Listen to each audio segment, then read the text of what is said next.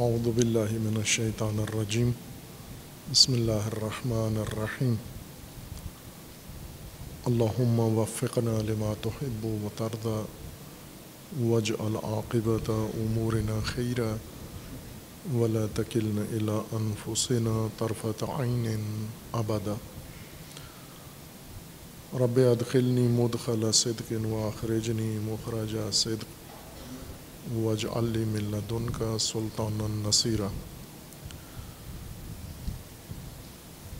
पंद्रह रमदानमबारक रोज़ विलादत बासादत इमाम हसनी मुशतबा वसलाम है तमाम उम्मत इस्लामिया व बिलखसूस राह रवान राह विलायत व इमामत को तबरीक व तहनीत अर्ज़ है। अयाम आम अतहार बहुत ही अहम मौक़े हैं और फ़ुर्सतें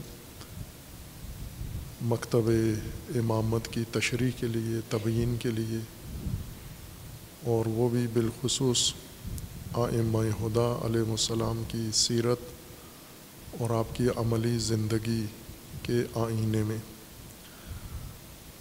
लेकिन बिलूम ये अयाम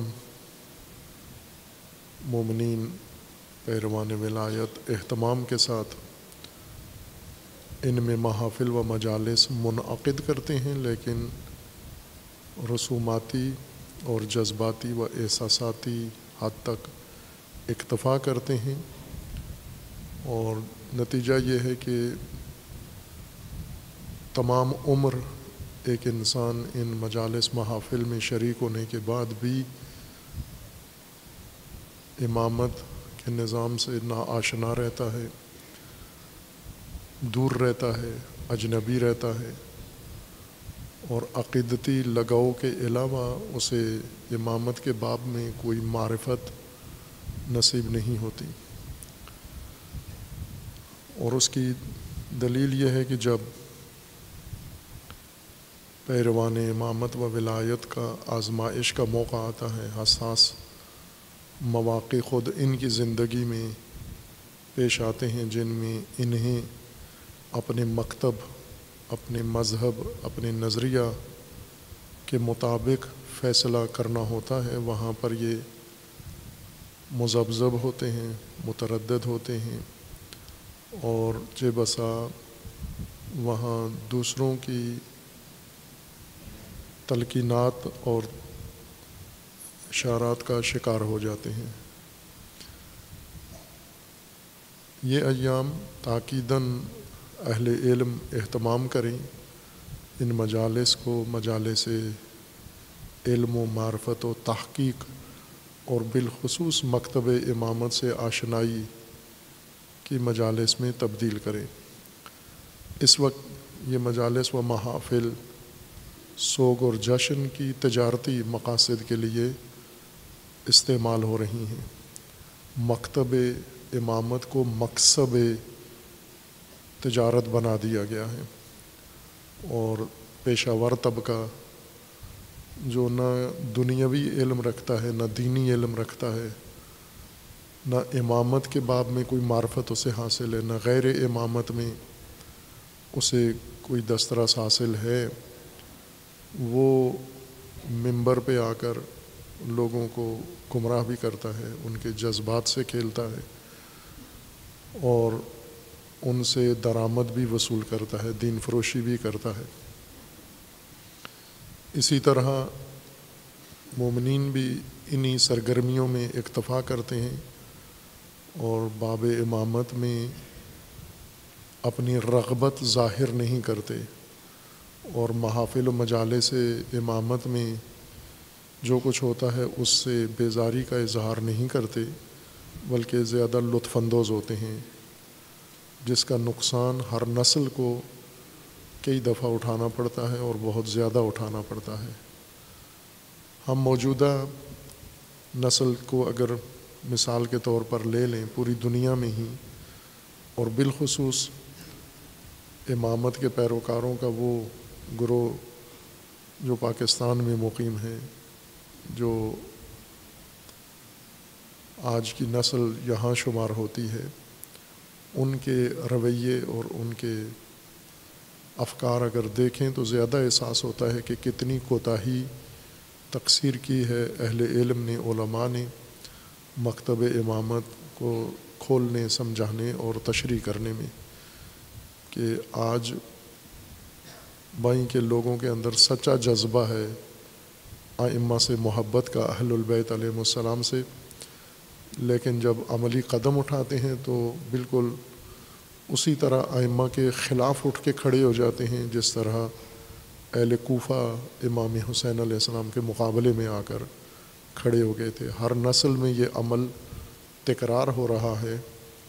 इस वजह से कि मकतब इमामत के जो मौाक़े हैं तशरी के उन्हें तजारत में और सरगर्मी में ज़ाया कर दिया जाता है। इमाम हसन मुशतबा वसलाम की हयात तय्यबा व सीरत मुबारक को हम चंद हिस्सों में मुलाहजा कर सकते हैं।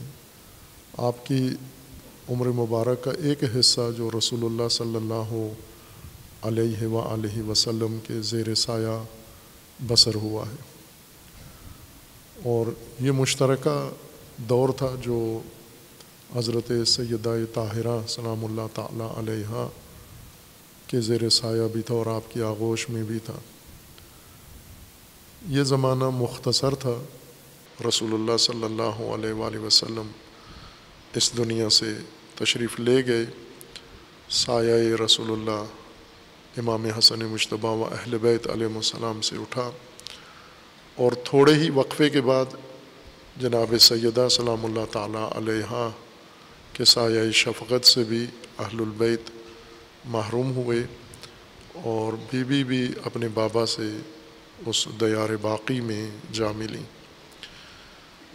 इसके बाद इमाम हसन मुशतबा की ज़िंदगी का दूसरा दौर शुरू होता है और वो इमाम अली सलात के ज़ेर साया और इमामत इमाम अली सलाम में आपकी ज़िंदगी है। आपकी परवरिश इमाम अली सलाम के ज़ेर साया है, जवानी, नौजवानी। और ये मुफ, तकरीबन आपकी हयात मुबारक का नस्बता तुलानी ज़माना है, बाकी अदवार की नस्बत। और फिर तीसरा दौर शुरू होता है जब इमाम अली सलाम भी शही शहादत के ज़रिए इस दुनिया से रुखसत हो जाते हैं और इमाम हसन मुशतबा वसलाम की इमामत का दौर शुरू होता है, ये तीसरा दौर है। इसी इमामत के दौर में एक चौथा मुख्तसर दौरानिया भी इमाम हसन मुशतबा की ज़िंदगी में मौजूद है और वो इमाम की शश माह हुकूमत है छः माह के लिए इकतदार और हुकूमत है।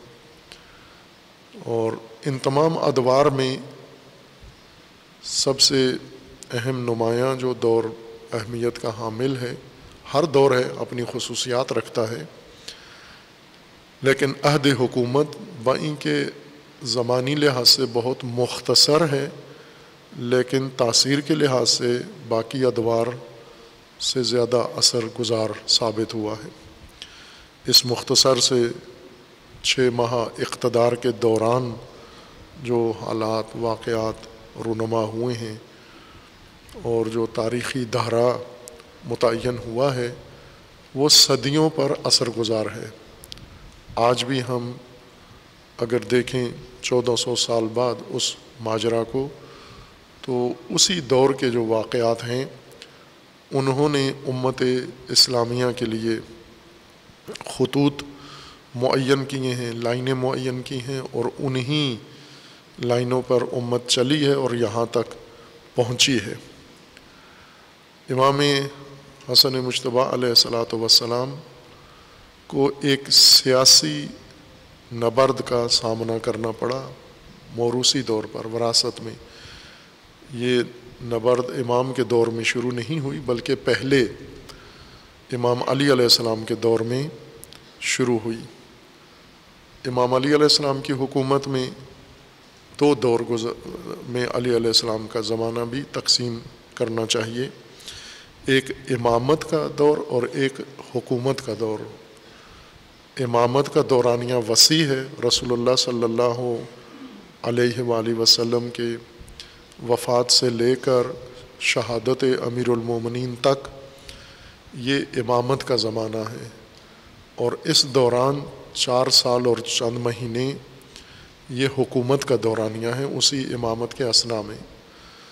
इमामत का दौरानिया वसी है और फैला हुआ है।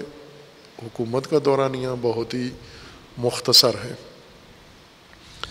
लेकिन उस हुकूमती अयाम में जो कुछ रूनमा हुआ, वो ज़्यादा अहमियत रखता है।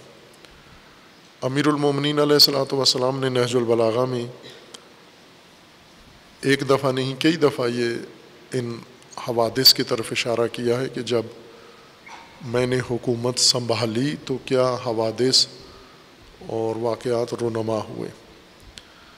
उनमें सबसे अहम जो हालात पैदा हुए मुखालफी अमीरमिन की हुकूमत के अंदरूनी मुखालफी थे, जो सबका हुकूमतों में कम थे। खलीफा अव्वल की हुकूमत में अंदरूनी मुखालफी थे, लेकिन खामोश थे मुतहरक नहीं थे। एक बड़ी जमीयत सहाबा में खिलाफ खलीफा अव्वल की हुकूमत के मुखालिफ समझे जाते थे, लेकिन मुतहरक और फ़ाल नहीं थे, खामोश थे। या मसलहती तौर पर साथ थे दिली तौर पर अगर नहीं भी साथ थे तो मसलहती तौर पर उन्होंने हुकूमत का साथ दिया है। और एक बड़ी जमीयत ऐसी थी जो हामी थी। दूसरे दौरे हुकूमत में, खलीफा दोम के दौरे हुकूमत में कोई अंदरूनी खलफशार नहीं पैदा हुआ। उनके दौरे हुकूमत में भी मुखालफी अंदरूनी मुखालफी मौजूद थे। लेकिन बैरूनी नबर्द और बैरूनी जंगों ने सरहदी वाक़ात ने अंदरूनी मुखालफत को दबा के रखा और ख़लीफ़ा की हुक्मरानी और उनकी पॉलिसियाँ भी ऐसी थीं कि वो अंदरूनी मुखालफी को मौका ही नहीं देते थे कि वो किसी किस्म की कोई हरकत कर सकें या कोई अक्समल दिखा सकें। खलीफा सेवम के ज़माने में अंदरूनी खलफशार शुरू हुआ। मुखालफतें शुरू हुई, आवाज़ें उठना शुरू हुई और उन आवाज़ों को दबाया गया एक अरसे तक। लेकिन हुकूमती अरकान की बाज़ पॉलिसियों के नतीजे में उन्हीं मुखालफतों ने आखिर में एक शूरश की शक्ल इख्तियार कर ली और जिसका निशाना ख़ुद खलीफा भी बने, उसी शूरश के नतीजे में खलीफा बाज़ शहरों से या बाज़ इलाक़ों से लोग मुखालफी मतहरक और फ़ाल हुए, जमा होकर और खलीफा पर उन्होंने यलगार की। और उसके बाद अमीरमिन सलाम को इकतदार मिला, हुकूमत मिली, लोगों ने बैत अमीरमिन की की। और ये सबसे ज़्यादा पुराशुब दौरा, दौरानिया अंदरूनी मुखालफतों और शूरशों का ये शुमार हुआ, जिसकी जड़ें खलीफा सिवम के ज़माने में कायम हो चुकी थी।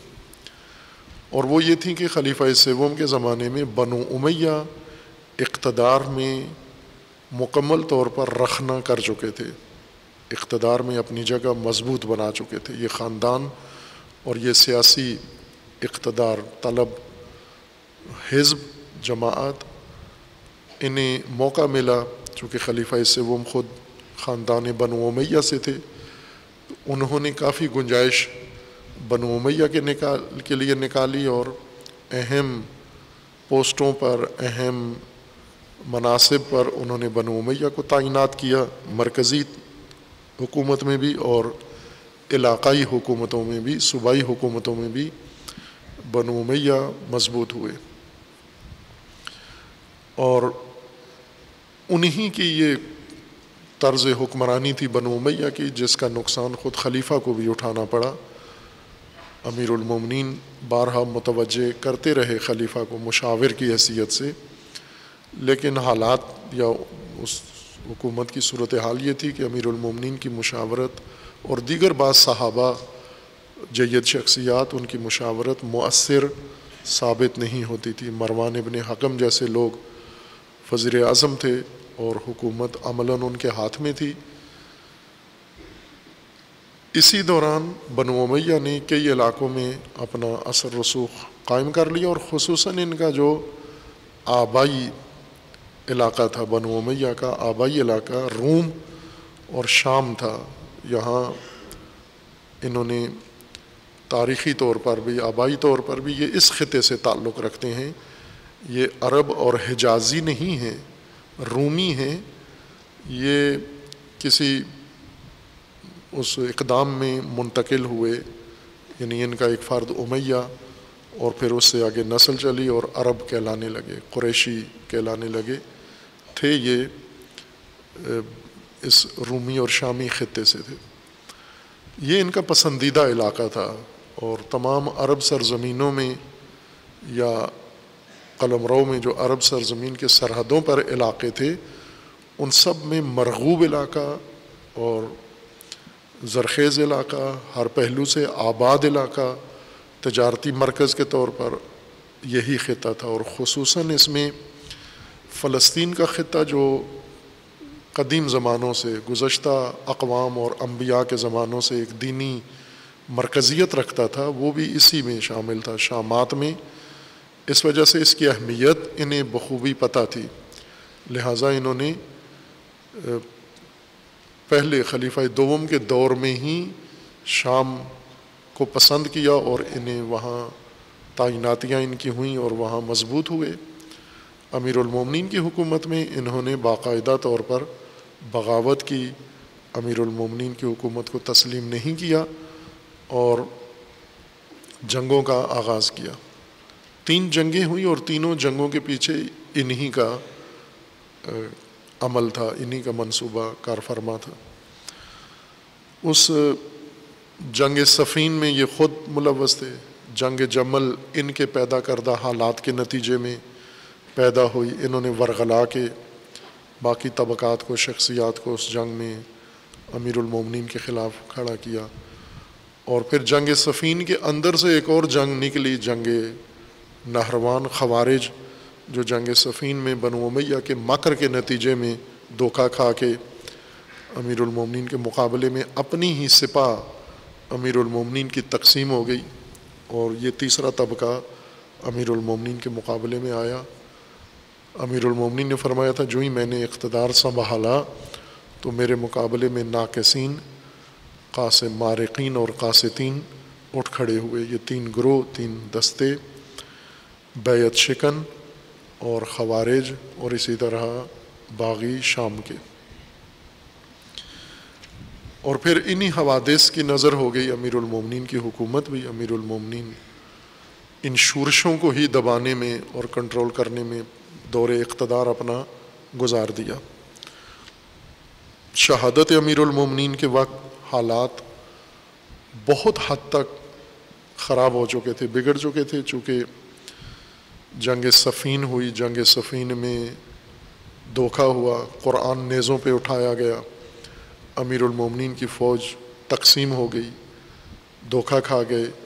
एक बड़ा दस्ता अमीरमिन के मुखालिफ हो गया। खवारिज की शक्ल में आ गया, फिर उन्हीं के इसरार पर, दबाव पर तहकीम का वाक़ हुआ और तहकीम के अमल के बानी ख़ुद खवारिज थे और बाद में ख़ुद तहकीम को बहाना करार देकर अमीरमिन के मुकाबले में लश्कर कशी की और उठ खड़े हुए और इसी तरह ये हालात अमीरमिन के ज़माने के सियासी तौर पर बहुत ही उलझे हुए हालात थे। और फिर खवारिज ही के और बनो उमैया के मिले जुले मंसूबे से अमीरमिन की शहादत हो गई। उन हालात में इमाम हसन आसमाम को इकतदार और हुकूमत मिलती है, मुंतकिल होती है। लोग मुतफ़ा तौर पर कोफा में अमाम हसन मुशतबा आसमाम की बैत करते हैं, लेकिन शाम में शूरश पहले से जारी थी, खवारिज पहले से शूरशी बने हुए थे और इसी तरह जो नाकसिन थे अमीरमिन के बैत शिकन जमल के अंदर शरीक अफराद, उनसे वाबस्ता लोग भी इमाम हसन आसमाम के मुखालफी में से थे। नतीजा ये हुआ कि जब इमाम हसन मुशतबा ने इकतदार संभाला, हुकूमत संभाली तो ममलिकत मुकम्मल तौर पर आशूब का शिकार थी। इस आशूब को अमीरमिन ने आगाज़ किया हुआ था इस आशूब को ख़त्म करने में, हालात को पुरअमन बनाने में और पायदारी, सियासी पायदारी के लिए अपनी पूरी तोानाई अमीरमिन ने इस पर लगाई हुई थी। लेकिन जो ज़मीनी हक़ थे, उनमें ये कि दुश्मन का जज्बा बहुत कवी था और अमीरमिन की सिपा का जज्बा बिल्कुल ज़यीफ़ था, मरा हुआ था। अमीरमिन के अपने खुतबात इस बात की सबसे बड़ी गवाही और सबूत हैं कि अमीरमिन ने उस फसात व बलागत और तमाम तर अपनी शख्सी करिश्माती शख्सियत के साथ भी कोशिश की इनको उठाने के लिए, लेकिन कोफ़ी यानी अमीरमिन की सिपा और अमीरमिन के ज़ेर फरमान लोग ये किसी फैसला कन कार्रवाई के लिए तैयार नहीं थे। हौसले शिकस्ता थे इनके। इस शिकस्ता हौसला लश्कर के अब सरबरा इमाम हसन मुशतबा वसलाम हैं। और मुकाबले में शूरशी हैं, कई तरह के, जिनमें सबसे फ़ाल बनु उमैया हैं, शाम के बागी। जिनकी क़्यादत मुआविया इबन अभी सुफियान कर रहा है और बाकी उसके साथ सब शामिल हैं। बनु उमैया भी और गैर बनु उमैया भी, बनु आस भी और बनु उमैया भी। और दर पर्दा बहुत सारे उन्होंने अपनी सियासी चालों से बहुत सारों को अपने साथ मिला लिया। ये दौर हम कह सकते हैं कि एक ख़ास जंग में बदल गया अमीरुल इमाम हसन मुशतबा सलात वसलाम का दौर हुकूमत एक मखसूस तर्ज जंग और इख्तलाफ में तब्दील हो गया।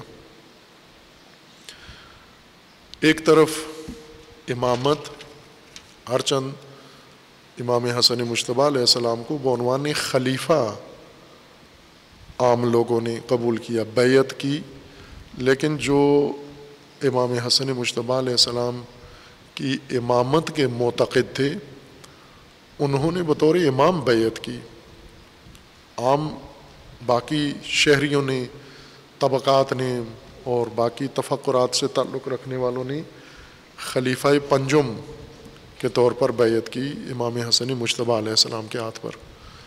कोफ़ा में एक बड़ी जमीयत इमामत के पैरोकार लोगों की थी, जो मदीना में भी थे, हिजाज़ में भी खसूस बनु हाशिम में से।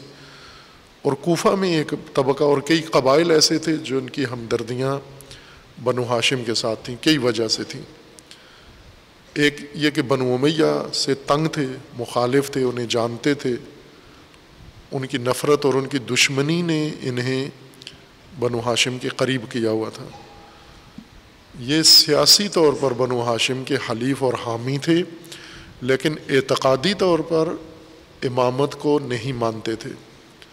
लेकिन कुछ ऐसे लोग थे जो कोफा में मुकीम थे, जो और बसरा में भी थे, जिनकी अक्सरियत मकतब इमामत से ताल्लुक़ रखती थी, यानी शिया थे। और ये जो दो तकसीम वाज तौर पर हुई हैं, शिया शिया अली व शिया उस्मान, ये अमीरमिन के उस दौरान और अमीरमिन की शहादत के बाद ये ज़्यादा असलाह राइज हुई। हर शख्स अपने तारफ़ में वजाहत करता था और उसे पूछा जाता था कि किसके शिया हो, किसके पैरोकार हो, किसकी जमात हो। आया शिया अली हो या शिया उस्मान हो। तो वो लोग जो शिया अली समझे जाते थे, एक तो बनु हाशिम थे, अलवी इन्हें कहा जाता था। और कुछ ऐसे लोग थे जो बनु हाशिम नहीं थे, लेकिन अमीरमिन से उनकी वफ़ादारी थी, सहाबा में से भी थे और सहाबा की औलाद में से भी थे और नौ मुस्लिम भी थे। फतूहत के नतीजे में जो बाकी इलाकों से लोग मुशर्रफ इस्लाम हुए, उनमें से भी एक बड़ी तादाद अमीरमिन को अपना हाकिम व खलीफा व इमाम मानते थे। इमाम हसन आसमाम बहसीत खलीफा पंजों में मुसलमिन और वे बेहसीत इमाम दोवम, शिया यान अमीरमिन के हुकूमत और इकतदार संभाला।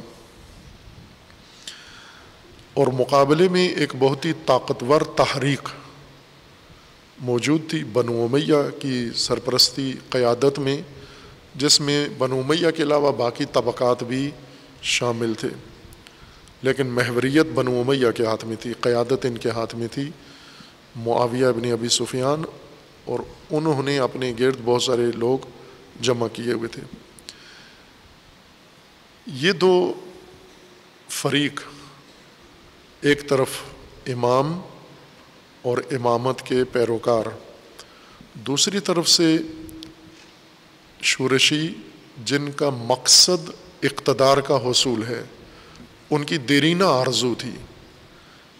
इस्लाम से शिकस्त खाने के बाद फ़तेह मक्का में जो खिफ़त बनु उमैया को उठाना पड़ी, जो ज़िल्लत उनकी हुई और फिर रसूलुल्लाह ने राफत और रहमत के ज़रिए से दरगुज़र किया, उन्होंने उस दरगुज़र व राफत से भरपूर फ़ायदा उठाया। उस बख्शिश से उन्होंने सियासी इस्तफ़ादा किया और उसी दिन से अपना अंदाज़ तब्दील किया, सियासत अपनी पॉलिसी बदली, स्ट्रेटेजी तब्दील की, उन्होंने दुश्मनी से दोस्ती में आए। हिमायत, लेकिन हिमायत के लिबादे में भी जिस तरह पहले इक़्तदार पसंद थे, इक़्तदार तलब और इक़्तदार परस्त, मुसलमान होने के बाद भी इनकी तमाम आरज़ू इक़्तदार ही था। और एक तजर्बाकार इक़्तदार तलब सियासी जमात के तौर पर इन्होंने पहले अपनी जगह बनाई और फिर लोगों को अपने साथ मिलाया और फिर बाकायदा तौर पर हवादिस से इन्होंने फ़ायदा उठाया। खलीफा सेवम के ज़माने में जो कुछ वाक़ात रूनमा हुए, उन वाक़ात से सबसे ज़्यादा फ़ायदा बनुओं में यानी उठाया। इस सियासी जमात ने उठाया और इकतदार परस्ती और इकतदार तक पहुँचना इनका मतम नज़र था। और एक दिन भी ज़ाया नहीं किया इन्होंने। अमीरमिन सलाम ने अपने ख़ुतबों में बारहा इस तरफ़ इशारा किया है, बनु मैया के अपने हदफ के लिए एक वक्त भी, लम्हा भी ज़ाया नहीं किया। अमीरमिन ने अपने साथियों को एक ताना देते हुए उनकी मिसाल पेश की कि वो बातिल पर होते हुए उनका इमाम बातिल है, उनका रास्ता बातिल है, लेकिन उनकी वफ़ादारी, मिसाली वफ़ादारी है। और तुम हक पर हो, तुम्हारा इमाम हक पर है, और तुम्हारी वफ़ादारी घिन आती है उससे, नफ़रत हो जाती है उससे।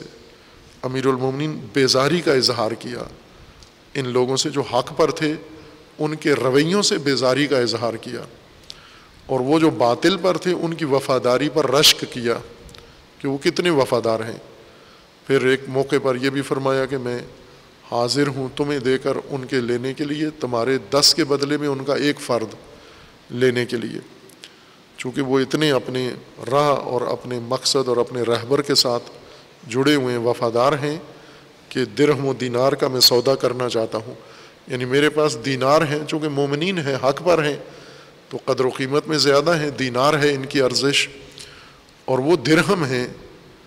लेकिन अमीरमिन फरमाते हैं, मैं दस दीनार देकर एक दिरहम लेने के लिए तैयार हूँ। इतना घाटे का सौदा करने के लिए। ये ताना था, इनको सरजनिश थी। ये कहने के लिए कि तुम वफादार नहीं हो हक के और अपने रहबर के साथ अहद मुतहद नहीं हो तुम। बनु उमैया ने हर मौके से फ़ायदा उठाया और अपना इकतदार तक पहुँचने के लिए जो तहरीक शुरू की थी, दिन ब दिन उसको तकवीत करते गए। हर हादसा अपने हक में बदलते गए। खलीफा सेवम की हुकूमत के अंदर कमज़ोरियाँ, उन्होंने उससे फ़ायदा उठाया। उनके कत्ल से फ़ायदा उठाया। उनके कत्ल के बाद होने वाले वाक़ात से फ़ायदा उठाया।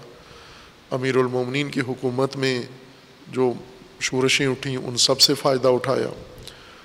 और अब उन्हें अब इकतदार बिल्कुल नज़दीक नज़र आया और आखिरी रुकावट बनु उमैया को अपने इकतदार तक पहुँचने के लिए इमाम हसन मुशतबा नज़र आए कि इस रुकावट से, और उन्हें ये भी लग रहा था कि हम आसानी से इस रुकावट से अबूर कर जाएँगे और ऐसा ही हुआ। आसानी से ये रुकावट अबूर कर गए। इमाम हसन मुशतबा सलाम इस इकतदार पसंद तबके को, जो इकतदार पसंदी की वजह से जिसका मतम नज़र ये था कि हर कीमत पर इकतदार में आओ। हर कीमत पर। उसके लिए अपने बंदे मरवाने पड़े तो भी मरवाओ, उसके लिए दूसरे मरवाने पड़े वो भी मरवाओ। उसके लिए आपको प्रापोगंडा करना पड़े वो भी करें, उसके लिए झूठ बोलना पड़े वो झूठ भी बोलें आप। उसके लिए तोहमत तो बहतान लगाना पड़े वो भी लगाएँ। इकतदार की हवस इंसान को अंधा कर देती है। हर हवस इंसान को अंधा करती है। शहवतरान, जिन्हें औरतों की हवस है, वो भी अंधे हो जाते हैं। शहवत पट्टी बन जाती है उनके दिलों पर। जो दुनिया के पुजारी हैं, दुनिया परस्त हैं, माल दौलत और सरवत की ख्वाहिश रखते हैं, वो भी अंधे हो जाते हैं इस हवस में। लेकिन इन सब पर गलबा उनका होता है जो इकतदार के हवस में मुबतला होते हैं। चूँकि औरतों के हवसबाज ये कभी भी हुक्मरानी तक नहीं पहुँचते। औरतों तक पहुँच जाते हैं, लेकिन हुक्मरानी तक नहीं पहुँच सकते। अभी भी हैं, पाकिस्तान के अंदर एक बड़ा तबका हवसबाज है और हर लिबादे में, हर लिबास में है। ये सेकुलर भी हैं, ये ब्यूरोक्रेट भी हैं, ये पढ़े लिखे भी हैं, ये अनपढ़ भी हैं, ये ओबाश भी हैं, लोफर लफंगे भी हैं, और ये मजहबी लिबादे में भी हैं, दीनी लिबादे में भी हैं, लेकिन मतम नज़र इनका हवस है, शाहवतरानी है। लिहाजा ये शहवत जन में मुबतला लोग औरतों तक तो पहुँच जाते हैं। लेकिन इकतदार तक नहीं पहुँचते। इसी तरह मालो दौलत के जो पुजारी हैं, दौलत और सरवत जिनको चाहिए, ये बहुत ज़्यादा दौलत और सरवत जमा कर लेते हैं। इस वक्त दुनिया में हैं, इतने सरवतमंद हैं, जो कई मुल्कों को मिलाकर, उन मुल्कों की मजमू कीमत से भी ज़्यादा दौलतमंद हैं। इस वक्त जो जेफ बेजोस है या एलन मास्क है या इसी तरह जकरबर्ग है या वो मरूफ पाकिस्तानियों का इमाम उसवा हसना, बिल गेट्स। खूब ये इतने दौलतमंद हैं, इन सब की दौलत जमा करें तो सारी दुनिया की दौलत से ज़्यादा है। तनहा तनहा इनकी दौलत कई ममालिक से ज़्यादा है। लेकिन इकतदार में नहीं है।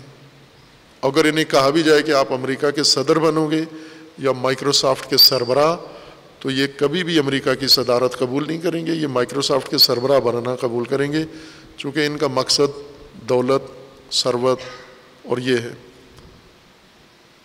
अमेरिका का सरबरा बन के तो इन्हें दौलत के साथ साथ हुकूमत भी करनी है, खिदमत भी करनी है, कौम के लिए भी कुछ करना है, मुल्क के लिए भी कुछ करना है, जबकि दौलतमंद सिर्फ़ अपने लिए कुछ करता है, मुल्क के लिए कुछ भी नहीं करता।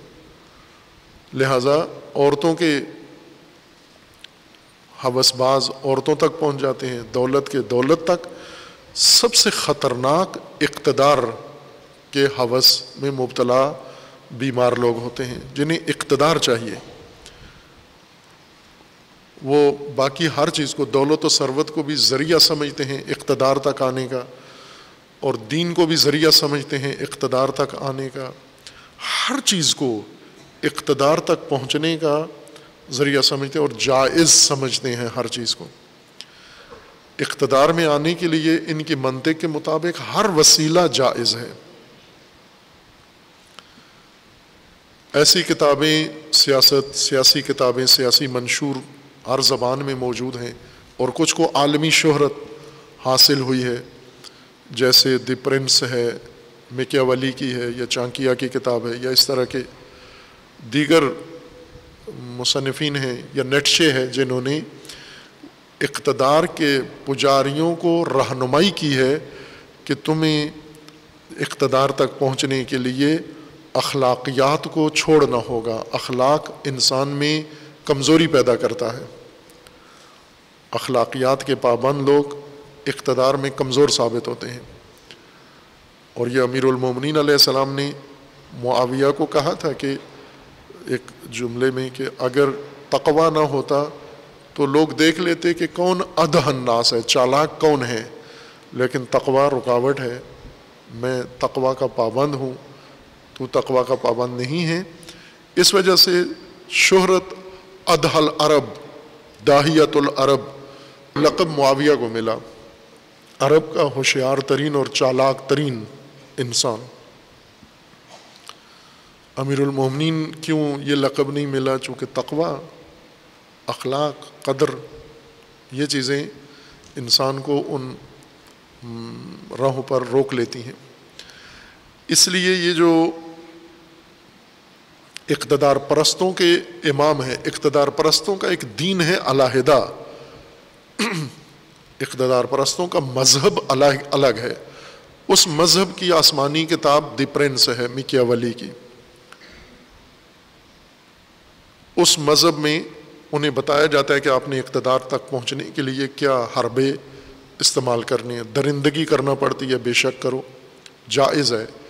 इकतदार के लिए लोगों का कत्लेआम नस्ल कुशी जायज़ है।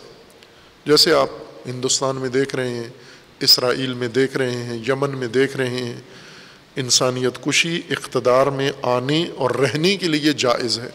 कर सकते हैं आप। झूठ, बिल्कुल बोल सकते हैं आप। झूठ से ज़्यादा अच्छी बात कोई नहीं है अगर ये झूठ तुम्हें इकतदार तक ले आए। बदयानती, बेईमानी, मक्कारी, शैतनत, हर चीज़ तुम्हारे लिए रवा है, जायज़ है इकतदार तक पहुँचने के लिए।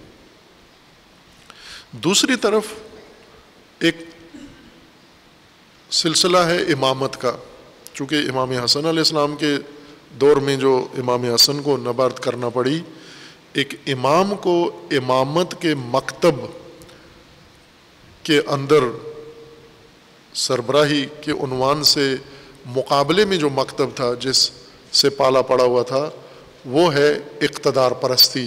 इकतदार परस्ती मलूकियत में कभी ज़ाहिर होती है कभी जमहूरीत में ज़ाहिर होती है, लेकिन उन दोनों के पीछे इकतदार पसंदी और इकतदार तलबी है। इकतदार परस्त अंधा हो जाता है और इकतदार परस्ती के मज़हब उसको जवाज़ फराहम करता है कि आप इकतदार में आने के लिए जायज़ और नाजायज़ ये सब इरतकब कर सकते हैं। ये जायज़ और नाजायज़ हम दीन के रू से कह रहे हैं। इकतदार परस्तों की मंतिक में, उनकी किताब में, उनके दीन में दो हिस्से नहीं हैं, जायज़ और नाजायज़। सब जायज़ है। कोई चीज़ नाजायज़ नहीं है। नाजायज़ क्या है? जो आपके इकतदार को कमज़ोर करे, जो आपके इकतदार के छीनने का सबब बने, जो इकतदार सल्ब करे, वो नाजायज़ है। लेकिन जिससे इकतदार मज़बूत होता हो, हासिल होता हो, वो सब जायज़ है। बल्कि जायज़ से भी आगे वाजिब और ज़रूरी उसको गर्दानते हैं कि ये काम आप कर सकते हैं इकतदार परस्ती के लिए। और तारीख़ बशरीत की ये सबूत फरावान है तारीख़ के अंदर। हम जितना पीछे पढ़ते जाएँ मसन हम पाकिस्तान से शुरू करें, पाकिस्तान की सबका पचहत्तर साल तारीख़, फिर उसके पीछे बर सग़ीर की तारीख़ और बर सग़ीर से पीछे आप जितना चले जाएँ, इस्लाम और इस्लाम से भी पहले इंसानियत की तारीख़ को देखें तो इकतदार परस्ती का फ़िरका व मज़हब आपको हर दौर में नज़र आएगा और एक ही मज़हब है हमेशा। वो नमरूद हो फ़िरौन हो, वो शद्दाद हो, वो कोई भी ालिम जाबिर मशरक़ में हो, मगरब में हो रशिया में हो यूरोप में हो अमरीका में हो, वो जमहूरी लिबादे में हो, वो मलूकियत में हो, इनका एक मज़हब है इकतदार में आना। मुक़दसात को भी इकतदार के लिए इस्तेमाल करें, दुनिया को भी, इंसानों को भी, रिश्तेदारों को भी। आप यही जो मुसलमान जिसको तारीख़ इस्लाम कहते हैं बर सग़ीर की तारीख़ इस्लाम आप इन बनु उमैया और बनु अब्बास और मुग़लों के और उस्मानियों के इकतदार में रह, रहने वालों को पढ़ें किसी ने बाप की आँखें निकाल दी किसी ने बेटों की आँखें निकाल दी किसी ने भाई का सर कलम कर दिया ख़ुद अपने ख़ानदान के अंदर इन्होंने और ये सब जायज़ है ये आज के बड़े मोहतरम आज की नस्ल जो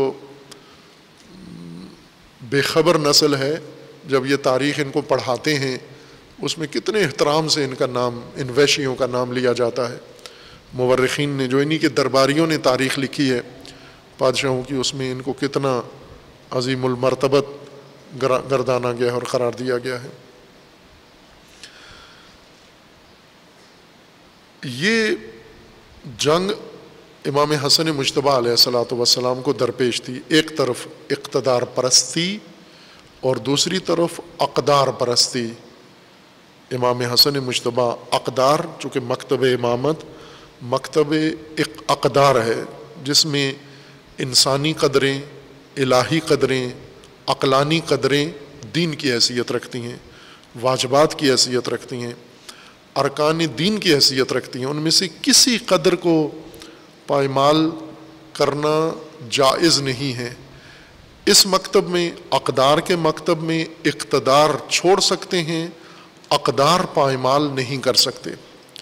लेकिन इकतदार परस्ती के मज़हब में, इकतदार की खातिर तमाम अकदार पायमाल कर सकते हैं, तमाम मुक़दसात को रोन सकते हैं, हर कबाहत के मरतकब हो सकते हैं, हर जुर्म जनायत के मरतकब हो सकते हैं, और इकतदार में होते हुए आप इन तमाम जराइम को पर्दा भी डाल सकते हैं। इनकी तोजी करके इनको सही भी कर सकते हैं। आप मजहबी मुफ्ती, उलमा लेकर और अपना जुल्म, जबर, जनायत, इकतदार परस्ती और हवसबाजी, इस सबको ऐन शरीयत करार देकर लोगों को वरगला सकते हैं। आप, ये एक नमूना था जो हमारे सामने इमाम हसन मुशतबा सलाम के ज़माने में पेश आया। इतनी खौफनाक जंग इमाम हसन मुशतबा को लड़ना पड़ी। बहुत खौफनाक जंग थी। अब यहाँ आकर इस जंग में चूँकि बराबर की जंग नहीं है ना बराबर जंग है। एक तरफ़ हर चीज़ जायज़ है और एक तरफ़ बहुत महदूदियत है। एक तरफ़ हाथ बंधे हुए हैं, हर काम आप नहीं कर सकते, और एक तरफ़ हर काम आपके लिए जायज़ है और रवा है और कर रहे हैं। इकतदार परस्ती में शामियों ने हर काम किया, लेकिन एक तबका जो इस जंग में इमाम हसन आसमाम के ज़माने में जिसने फैसला कन किरदार अदा किया, और इमाम हसन आसमाम इकतदार छोड़ दिया, सुपुर्द कर दिया, दुश्मन के हवाले कर दिया,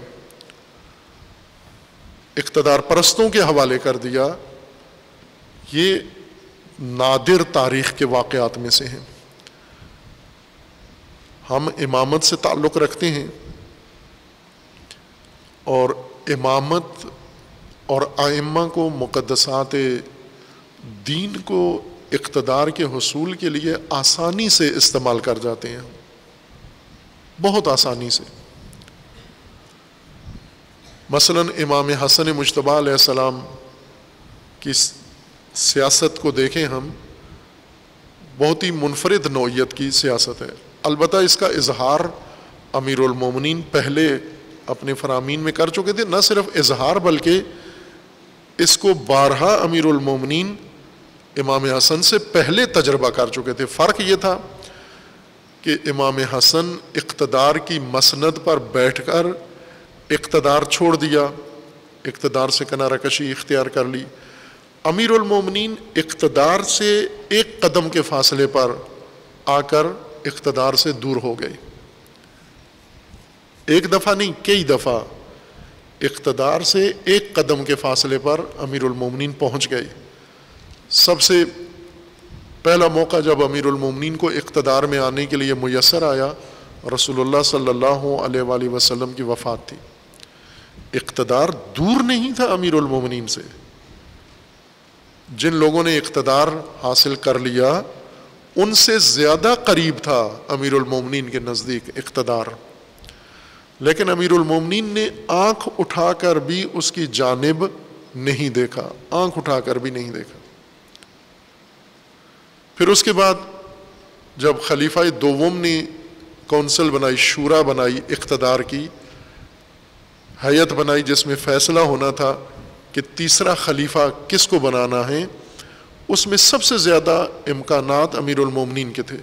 सियासी लिहाज से सबसे ज़्यादा ताकतवर उम्मीदवार अमीरमिन थे और सबसे ज़्यादा इम्कान यही था कि अमीरमिन इकतदार में आ सकते हैं। और पहली ऑफ़र पहली पेशकश इकतदार की अमीरमिन को की गई। उसी कौंसल ने मुतफ़ा तौर पर मुकाबला कराए बग़ैर कुछ अरकान शुरा ने इजलास के बैठते ही ये कह दिया कि हमारा वोट अमीरमिन अली अबन अबी तालिब के साथ है, जैसे ज़ुबैर इबन आवाम है। उन्होंने फ़ौर ही कह दिया कि मैं ख़ुद भी मुद्दे ही नहीं हूँ, किसी और को भी इस मनसब के काबिल नहीं समझता हूँ। अली से बेहतर कोई भी नहीं है, हमारी तरफ़ से यही है। बाकी अरकान ने भी ऐसा ही किया। उन्होंने भी अमीरमिन को पेशकश की कि आप ज़्यादा मौजू हैं और ये लें इकतदार, लेकिन इसकी शराइ हैं। शराइ ये हैं कि आप अहद करें हमारे साथ यहाँ पर कि आप किताब व सुन्नत और सीरत शेखैन पहले दो हाकिम खुलफा की सीरत के मुताबिक हुकूमत करेंगे। अमीरमिन आसमाम ने कहा कि मैं किताब सुन्नत पर करूँगा, हुकूमत करूँगा। किताब सुन्नत के अलावा कोई और शर्त, वो मुझे मौजू नहीं लगती। किताब को भी मैं मान लूँ, सुन्नत को भी मान लूँ, फिर तीसरी शर्त बाहर से क्यों मनवाएँ आप मुझसे? तो वहीं पर छोड़ दिया इकतदार। खलीफा सेवम ने कबूल कर लिया। वो शर्त तीनों कबूल कर ली और इकतदार उनको मिल गया। उसमें दो वोट अमीरमिन के थे और यानी बराबर तकसीम हो गए थे। फिर एक जो जिस तरह खलीफा सेवम ने शूरा बनाई थी अब्दुलरहमान इबन औफ, उन्हें कास्टिंग वोट का हक दिया हुआ था कि जिस तरफ़ ये होंगे उस तरफ़ फैसला होगा। तो उन्होंने खलीफा सेवम के हक में वोट कास्ट किया तो उनके हक में हो गया, वरना बराबर वोट थे वो। ये दूसरा मौका था जहाँ पर अमीरमिन इस्लाम ने इकतदार से दूरी इख्तियार कर ली। बिल्कुल चंद कदम के या एक कदम के फासले पर, एक हाँ करनी थी और मसंद इकतदार पर और नहीं की वो हाँ। तीसरी दफ़ा फिर जब खलीफा से वो कत्ल हुए तो अमीरमिन के दर पर लोग आए अब कि आप हाथ बढ़ाएँ, हम आपके हाथ पर बैत करते हैं। अमीरमिन सलाम ने वहाँ पर जुम, खुतबा है अमीरमिन का अपना, कि जब ये लोग मेरे तरफ़ आए, हजूम किया मेरे घर पर और इतना हजूम किया कि मुझे ये डर पड़ गया कि मेरे बच्चे ना कुछ ले जाएँ इस रश में, इस भीड़ में। इतना रश मेरे घर पे हो गया दरवाजे पर और फिर उन्हें जवाब दे दिया कि आप जहाँ पहले थे इकतदार, जहाँ पहले था वहीं ले जाएँ, मुझे इकतदार की ज़रूरत नहीं है। लेकिन वो भीड़, वो रश, वो तकाजा, उसको हजत बना करके, लौला हजूर हाजिर वक़यामुल हजत बेवजूद नासिर। अगर ये ना होता, ये तमाम हजत ना हो गई होती तो अब भी मेरा जवाब यही था अलकई तो हब लहा अला गारे बेहा और मैं उसको उसी कासे से पिलाता, जिससे पहले इस खिलाफत को, इकतदार को पानी पिलाया था, यानी ना, मैं अब भी तैयार नहीं हूँ। ये इमामत का मकतब है। इकतदार दरवाज़े पे आया हुआ और उसको कबूल करने के लिए तैयार नहीं है। और चौथी दफ़ा फिर अमीरमिन चार दफ़ा नहीं है, चार हज़ार दफ़ा शायद अमीरमिन ने इकतदार के मुतल ये फरमाया है। लेकिन बहुत नुमाया जो सराहत है नस है अमीरमिन आसमाम की, जब जंग नहरवान या सफ़ीन के दौरान अमीरमिन बेहसीत खलीफा और बेहसीत सालार लश्कर चाह रहे हैं और जूता फट गया और उतर के अपना जूता अपने हाथों से टांकना शुरू किया। और इबन अब्बास जो मुशाविर थे, सियासी और अस्करी, उन्हें बुलाया और पूछा कि इस जूते की कीमत क्या है? उन्होंने कहा, कोई कीमत नहीं है इसकी। तो अमीरमिन ने वहाँ पर फरमाया कि वो हुकूमत जिसके ज़रिए अकदार कायम ना हो, अदल कायम ना हो, वो इस फटे हुए बेकीमत, जूते से भी ज़्यादा बेकीमत है, वो इकतदार। ये इमामत का नज़रिया है, ये इमामत की बुनियाद है। इकतदार के मुतालिक इमामत ये है, सियासत ये है। यूँ नहीं है कि हम तवसल के लिए इमाम हसन को पकड़ लें सियासत में आने के लिए मुआविया को अपना इमाम बना लें हम। यानी इकतदार में आने के लिए हर जायज़ और नाजायज़ को जायज़ समझ लें, लेकिन जब अल्लाह की बारगाह में दुआ करनी हो, खुदाया वास्ता है इमाम हसन का वास्ता अल्लाह को इमाम हसन का दें, लेकिन इकतदार तक पहुँचने के लिए उन लोगों को ज़रिया करार दें जिन, जिनसे इमाम हसन का मुकाबला था। इमामत का मतलब यह है कि आपने इकतदा ज़िंदगी में, दीन में, दुनिया में, सियासत में, हुकूमत में, मीशत में, समाज में, तालीम में, ताल्लुम में, हर चीज़ में इकतदा इमाम की करनी है। इमामत का माना यही है। आप मुकदी हैं। आप नहीं फैसले कर सकते। आप सियासत का रुख नहीं बना सकते। आप सियासी मनहज नहीं इंतखब कर सकते। इमामत ने किया हुआ है, आइमा ने किया हुआ है। उसी को आपने इंतखब करना है। ये इमाम हसन मुशतबा सलाम से आपने सियासत भी लेनी है। छः माह का सियासी दौरानिया ये शिया के लिए हजत है, दलील है, मदरक है। अगर किसी दौर में तुम्हें शौक चढ़ा सियासत का, किस तरह की सियासत करोगे? इमाम मुशतबा सलाम की सियासत कि इकतदार मौजूद है और उस इकतदार को बचाया जा सकता है समझौते के ज़रिए से। हर एरे गैरे के साथ बैठकर इतिहाद कर लें। कबाइल को इमाम हसन बुलाएँ। ये जो शूरशी कबाइल हैं ये जो हौसला शिक, शिकस्ता लोग हैं यही जो इकतदार परस्त लोग हैं जो मुआविया के साथ जाकर मसलन वो लोग जो मिस्र की हुकूमत के लिए मुआविया से जाकर मुआदा कर लेते हैं कि अगर मिस्र की हुकूमत हमें दो तो हम इस इकतदार की कशमकश में आपका साथ देंगे। मुआदा हो गया उनके दरमियान कि अगर आप मेरा साथ दो तो मिस्र की हुकूमत तुम्हें मिल जाएगी। यही काम इमाम हसन कर सकते थे ना। चूँकि जिसको मिस्र की हुकूमत चाहिए, उसको ना मुआविया से कोई रिश्तेदारी है वफादारी है ना इमाम हसन से उसको इकतदार चाहिए।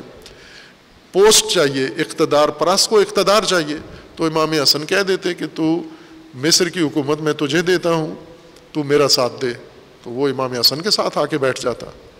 इसी तरह वो दूसरे जो टूट के मिले जाकर, मुआविया से जाकर उन्होंने इकतदार में ऐद माहदा किया, समझौता किया, ये सब के सब इमाम हसन कर सकते थे। ना ये कि इमाम हसन को ये सूझबूझ नहीं थी नवजुबिल्ला कि इकतदार के लिए जिनसे वो माहदे कर रहे हैं, कबाइल हैं इकतदार परस्त किसी को दौलत चाहिए, किसी को शोहरत चाहिए, किसी को माल चाहिए।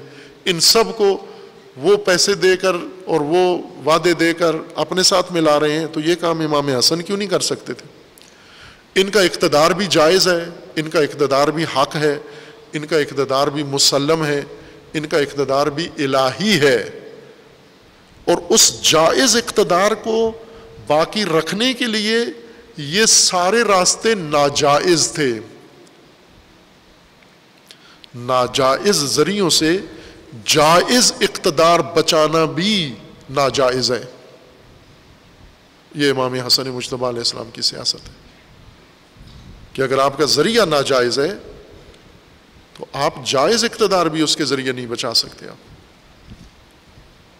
इमामत सिर्फ़ तवसल के लिए नहीं है आज के मौजूदा नस्ल के जहन में ये बात है कि तवसल करना हो तो आइम्मा है, सियासत करनी हो, इकतदार में आना हो, पार्लिमान में जाना हो, और बाकी काम के लिए ना वहाँ आइम्मा आपके किसी काम नहीं आ सकते, बल्कि वहाँ तो छुपा ही लो कि आप शिया हो। तकिए में चले जाओ आप, और वहाँ पर आप किसी इकतदार पसंद जमात के उस बनकर, उसके तहदी बनकर, इकतदार के लिए अपनी जगह बना सकते हो आप। लेकिन जब दुआ मांगनी हो तो इमाम हसन का वास्ता अल्लाह को दे दो। ये इमामत नहीं है। इमामत में आपने हर कदम इमामत के साय में और इमामत के अंदर उठाना है। अब ये एक वाज जंग है कि इमाम हसन इकतदार में हैं शामी इकतदार लेना चाहते हैं। उन्होंने इकतदार में आने के लिए हर कदम उठाया। एक बहुत बड़ा कामयाब कदम जो मुआविया ने उठाया और फैसला कन इकदाम किया, वो ज़रूरी आज के नस्ल को, आज के शिया को, आज के पाकिस्तानी शिया को मौजूदा हालात में ये नुक्ता बहुत गौर करना चाहिए। मुआविया ने कौन सा कदम उठाया आखिरी कदम। वैसे तो बहुत कुछ उसने इकदाम किए। बहुत कुछ उसने किया जो आहिस्ता आहिस्ता धीरे धीरे कई सालों में इकतदार तक पहुँचने का बायस बना उनका। ये तमाम दुनिया के सियासतदान इसको पढ़ते हैं बाकायदा। ये आपके सबका हुक्मरान वज़ी अजम साहिब, उन्होंने बाकायदा पढ़ा। और कहा भी उन्होंने, कराची के किसी एक नशस्त में, रिकॉर्ड में है वो बात कि मुझे अगर हुकूमत मिली तो मैं मुआविया इबन अभी सुफियान वाली हुकूमत कायम करूँगा। वो रोल मॉडल है सियासतदानों का, सियासत में। सियासतदान अमीरमिन को नौजुबिल्ला नाकाम सियासतदान समझते हैं और मुआविया को कामयाब सियासतदान। ज़ाहिर है, जो इकतदार में रह ना सके तो नाकामी है उसकी, जो इकतदार ले ले उसका दूर दूर तक कोई इम्कान ना हो, लेकिन ऐसी सियासत करे कि इकतदार तक पहुँच जाए और वो मुख्तर शख्सियात इकतदार में उनको बाहर कर दे इकतदार से। सियासत की दुनिया में तो इसको कामयाबी कहा जाता है। इसलिए ये इसको अपना इमाम मानते हैं सियासत में, सियासतदान। पाकिस्तान के सारे सियासतदान, न एक दो, सब पाकिस्तान के सियासतदानों में हर मज़हब से ताल्लुक़ रखने वाले हैं। अहल सुन्नत हैं, देवबंदी रुझानात वाले हैं, बरेलवी रुझानात वाले हैं, मखदूम मशाइ हैं, शिया हैं, अहल हदीस हैं। चूँकि आपस में बेशक फ़िरके बना ले, लेकिन इकतदार सब की कमज़ोरी है।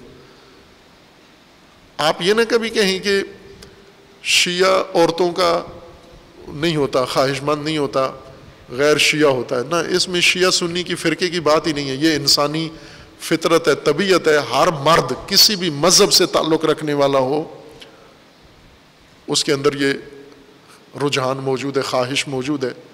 ये ना कहो कि ये शिया है तो फिर तो अपना भाई है ना, नामारम के कवायद सब के लिए हैं। वो मुझे याद है, ये सुना सुनाया वाक़ नहीं, हकीकी वाक़ है कि एक मौलाना किसी इलाके में गया और वहाँ से एक दफ़ा नहीं हुआ, ये तो रोज़ाना हो रहा है, लेकिन वो एक माजरा मैं बताता हूँ नमूने के तौर पर कि किसी जगह गया, मौलाना और वहाँ जिस घर में रह रहा था, उन्हीं की लड़की बगा के ले गया वो साथ अपने। तो लोगों को बड़ा ताज्जुब हुआ कि हमने इस पर भरोसा किया था, इसको मौलाना, उन्होंने समझा फरिश्ता आ गया है। तो ज़ाहिर फरिश्ते तो रगबत ही नहीं रखते इन चीज़ों के अंदर। उन्होंने फरिश्ता समझ के मेहमान रखा, वो फरिश्ता अंदर से इंसान निकला। वो उन्हीं की लड़की लौरत लेके चला गया वहाँ। बाद में बड़ा मसला बना, इन्होंने रुजू किया मुख्तलिफ़ लोगों की तरफ़, बाज़ बुज़ुर्ग लोगों की तरफ़ तो। इन्होंने बताया कि भाई, आपने किया क्या था? कहा, हमने उसको अपनी फैमिली का फ़र्द बनाया, उसको प्यार किया, मोहब्बत की। वो हमारे घर में ही आता था हमारे अपने बच्चों की तरह अफराद की तरह था। तो उन्होंने कहा कि तुम्हें पता नहीं था कि ये इंसान है, इसके अंदर सारे इंसानी रुझान हैं। मौलवी होने से वो रुझान ख़त्म नहीं हो जाते, वो सब कुछ इसके अंदर है कि इंसान है। तो आपको शर्य हदूद का ख्याल रखना चाहिए था ना। यूँ तो नहीं कि अगर आलम दीन है तो अपनी नामूस उसके सुपुर्द कर दो आप, उसके हवाले कर दो आप। तो गलती की हिमाकत की है आपने ये। और यही रोज़ाना हो रहा है। मज़हब और फ़िरके से इंसानी रुझानात पे कोई असर नहीं पड़ता। सब इंसानी रुझानात रखते हैं। शहवत जिनसी सब के अंदर है, शिया हो या सुन्नी। इकतदार की हवस सब के अंदर है। मसलक इकतदार की हवस ख़त्म नहीं करता। बरेलवी है, उसके अंदर मस, इकतदार की हवस है। अहल हदीस के अंदर इकतदार की हवस है। देवबंदी के अंदर है, शिया के अंदर है। मज़हब में कोई फ़र्क नहीं पड़ता मज़हब से। ये इंसानी तकाजे सब के अंदर हैं, इकतदार की हवस सब के अंदर है। इस इकतदार की हवस तक पहुँचने के लिए अब आप देखें मजहबी, मज़हब का फ़ायदा उठा रहे हैं, कौमी लोग, कौमियत का फ़ायदा उठा रहे हैं, दौलतमंद दौलत का फ़ायदा उठा रहे हैं। बाकी जिसके हाथ में जो हथियार आता है, वो इकतदार तक पहुँचने के लिए इस्तफादा करता है। इस नबर्द में जो आज पाकिस्तान में इकतदार के लिए शुरू है और फितना बन गया है, इमाम हसन अलैहिस्सलाम अपने पैरोकारों के लिए, मैं तो सब पाकिस्तानियों के लिए तजवीज़ करूँगा सीरत इमाम हसन अलैहिस्सलाम तमाम पाकिस्तानियों के लिए। लेकिन इस सादगी के साथ नहीं कि मुझे ये तो हो कि इधर से तजवीज़ आएगी, उधर से कल सारे पाकिस्तानी इमाम हसन के परचम उठा के और इकतदार की जंग से बाहर निकल कर इमामत के मकतब में आ जाएँगे। खसूस जो अंधे हो चुके हैं इकतदार में, वो तो ये बात सुनेंगे नहीं, बल्कि इस बात को रद्द करेंगे, इसको गलत करार देंगे। लेकिन जो जिनको अल्लाह ने ये तोफ़ी दी है, सदाकत है उनके अंदर, और चाहते हैं कि उन्हें मकतब इमामत से कोई नूर हिदायत मिले आइमा हदा से तवसल के साथ साथ सियासत का भी निज़ाम सीखें। इमामत है ही सियासी निज़ाम का नाम। इमाम खुमैनी फरमाते हैं कि गदीर में पेश इमाम का ऐलान नहीं हुआ था, सियासी इमाम का ऐलान हुआ था। पेश नमाज़ का नहीं रसुल्ला ने कहा था कि पहले जहाँ मैं नमाजें पढ़ाता तो अब मौला अली नमाजें पढ़ाएँगे। पेश नमाज़ नहीं, नमाज़ कोई भी पढ़ा सकता है। नमाज़ के लिए इमाम मासूम और इमाम अली की ज़रूरत नहीं है, लिहाजा इमाम अली के होते हुए हर जगह इमाम अली मदीने में थे और इमाम अली के होते हुए लोग नमाजें पढ़ाते रहे। बातिल तो नहीं थी उनकी नमाजें जो इमाम अली के अलावा दूसरे अम्मा के पीछे पढ़ते थे। इमाम अली इमाम हैं, सियासत के इमाम, हुकूमत के इमाम, उम्मत के इमाम, हाकमियत के इमाम, निज़ाम के इमाम, वही इमाम इमाम हसन भी हैं। अब आप हो इमामिया तो इमामिया सबसे पहली चीज़ जो इमामत से आपने सीखनी है सियासत है, क्योंकि इमामत है ही सियासी निज़ाम का नाम।